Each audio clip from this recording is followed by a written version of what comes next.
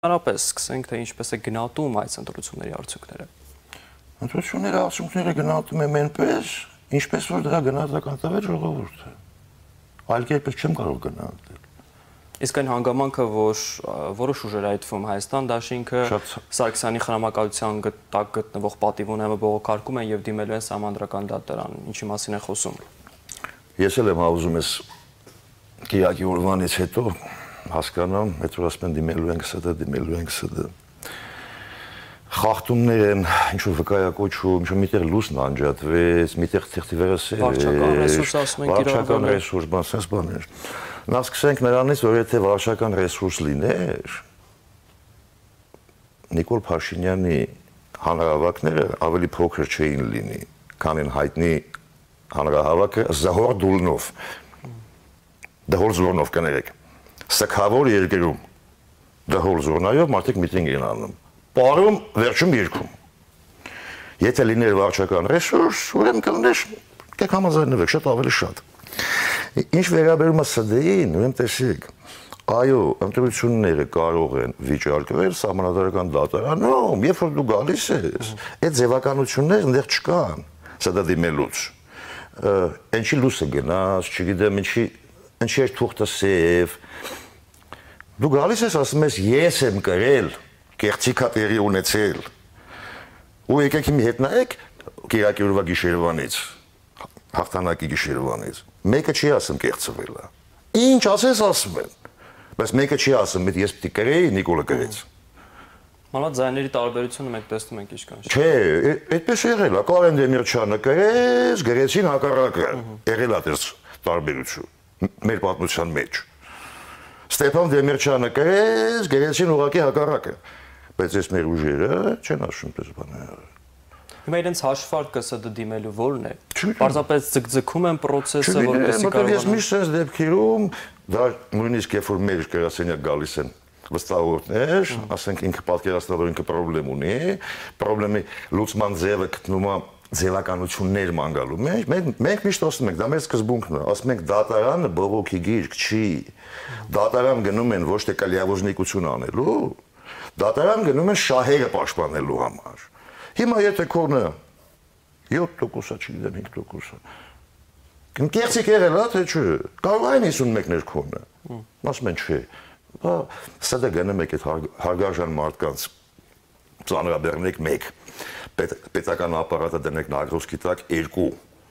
Գուցե հաշվի առնելով այն հանգամանքը, որ ՍԴ-ն դրանից առաջ ծառայություն է մատուցել Ռոբերտ Քոչարյանին։ Դե դրա մեջ համոզված եմ այսօրին դուք շատ ակտիվ եք լուսաբանում, հետևում եմ այն կողմից, որ մեկն ու մեկին կանչեք, ասա քո շահնա խախտվել։ Ոչ թե ինչի է լուսը գնացել է ինչ գյուղում 15 րոպեով։ Քո ոչ շահնա խախտվել։ Կարող է 51%-ը պլիկոն լինել։ Դե տեսեք ինչն է հետաքրքիր Ռոբերտ Քոչյանը այսօր ասուլիսում մեկ ասում է ընդրախախտումներ են եղել զանգվածային, մեկ ասում է մենք ժամանակ չունեցանք այցելելու գյուղեր, հետո ասում է Գելափը այսպիսի հարցումներ անում, ինչպես ստացվեց, մեր հանրավակներն ավելի մեծ էին, էներգետիկայով ավելի լի են, այսինքն հակասում է մեկը մյուսին, հա, մեկ ընդրախախտումներ կան, մեկ ժամանակը չի երիկին։ Ընդրախախտումներ կարող է եւ կան, նորից եմ կրկնում, կարող է ինչ-որ միտեղ լույս են անջատել, հələ հարցը այդ լույսնով անջատել, ով թուղթը ճղեց դրանք անթերի մարդ չկա։ Հիմա ինձ ուզում եք ասեք, այս այս խախտումները, որոնք մասին իրենք խոսում են, եթե նույնիսկ այդ խախտումներն եղել են, դա Լևոն Տեր-Պետրոսյանի 96 թվականի խախտումներին հավասար բան է։ Դա 98 թվականի Ռոբերտ Քոչարյանի ընտրություններին հավասար բան է։ Դա 2003 թվականի խախտումներին հավասար է, հա, որ ինչ-որ միտեղ էլեկտրոցանցում լույս էին անջատել։ Դա մարտի 1-ին հավասար բան է։ Այսինքն կարծում եք, որ համանդրական դատանը պետք է մերժի այս դիմումները։ Ինչ համանդրական դատանը պետք չընդունի։ Չընդունի, ասի ես բողոքի գիրք չեմ, ես ինչ եք բերի։ Ինչ խախտում է։ Իհարկե ինչ են ասում, ասում մի 50 հատ խախտում է եղել։ Եթե ես ասած տվել չի։ Այդ խախտումներ դիտորդները արձանագրում են, որ առյուծի բաժինը հենց Հայաստան դաշնքի կողմից է եղել։ Չեմ բացառում։ Չեմ բացառում սպորտը։ Իշխանության ամենամեծ հենարանը հա, դա պինդ ընդդիմությունն է։ Եկել եք, բարով եք եկել։ Հիմա եկեք կառուցողական ու գործնական աշխատեք հանուն պետության։ կանեն, բայց այդ այլ ոչ թե հանուն մուտիլով կեքի։ Եթե դուք պետական մարդիկ եք, դուք եկել եք ընտրության ինչի համար եկել եք ընտրության իշխանության մաս կազմելու կամ գոնե պետությանը օգուտ տալու, եթե կդառնաք ընդդիմություն։ Այդ զրույցները որ ասում են բերեք մանդատները հետ տանք, հոп 300.000 մարդ քեզ զայնա տվել։ Այդ դու ո՞նց ես դրանից հրաժարվում։ Այսինքն դու դրա համար չէի եկել անկախ նրանից կա համանadrության մեջ դրա պատասխանը որ ման են գալիս են կարողանում թարգմանեն չկա եթե մանդատները հանձնեն ինչ կլինի հա ու 300.000 քաղաքացի քեզ ձենա տվեց հավատանը այդ դու այդ այդ ձենից ես հրաժարվում հրաժարվեք հաջորդ ընտրություններին ավելի վատ կլինի 30 50 100 ես նույնիսկ ասեմ 10000 մարդու ասածը Աստվածնի։ Կապիտուլյան դեն ասում, ինչ են ասում դավաճան են ասում։ Ընտրությունների թվերը նայեք, ու հիմա ասկսե կապիտուլյան նո։ Բազումը ժողովուրդը մի բան գիտի, չէ։ Հիմա ես չեմ գնում դեպի պատերազմ։ Բայց ժողովուրդը, այն էլ երեխա կորցրած ժողովուրդը։ Նայ մենք երկրացան գերաբլուրում ինչ էր կատարվում բարձրվում է երեխա կորցրած այս մեր սքավոր ժողովուրդը, բարձրվում է մի բան գիտի։ Այսօր ձեզ քվեարկության արդյունքները։ Որտեղ նորից եմ ասում, ամեն ինչ ասում եք։ Բայց էլ Սյունիքում բացի նրանից, բացի նրանից, որ այդ 51%-ը ոչ թե կեղծ է, այդ մեկը չեք ասում, որտեղ կեղծ չի։ 51-ը չի 53-ը, հեսա կդառնա 64։ Հələ Սյունիքում Ռոբերտ Քոչարյանի պարտությունը ինչի մասին է խոսում, որովհետև գիտեք, սկսեցին այս մարզից վերջին օրերին միշտ այսպես առանձնացնում էին Սյունիքի խնդիր եւ դիտարկում էին աշխատում էին այս մարզի խնդիր չկար։ Նման խնդիր չի եղել։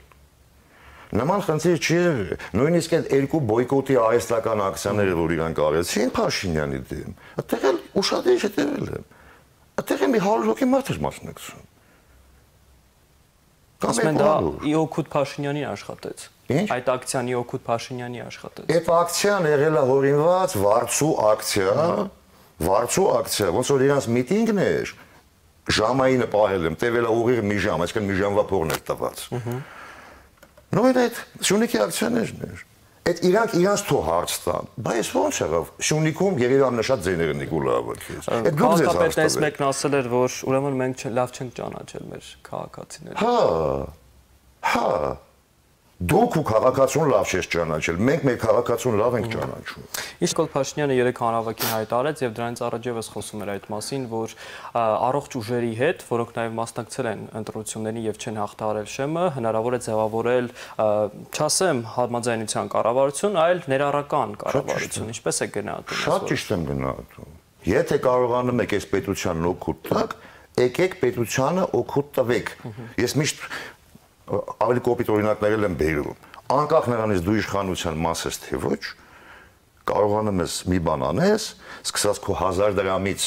Հայաստանի 9 դրամին վերջացված քո գիտելիքները պետական ապարատի համար, եկեք մասնակցեք։ Կլաուզնիկությունը թարգեք, մենք էլ կլաուզնիկության տեղ չունենք։ Մենք էլ իրար մի սուտելու հնարավորություն չունենք պրակտիկապես։ Եկեք միացեք օգուտ տվեք։ Մանիկոլ Փաշինյանն ասում է նոյեմբերի 9 Հայաստանում սկսված ներքաղաքական ճգնաժամը ախտարված է, իսկապես համաձայն ենք այս տեսակետին։ Ես համար ես նույնիսկ ես ընտրություններին դեմ եմ եղել, ձեզ ասում։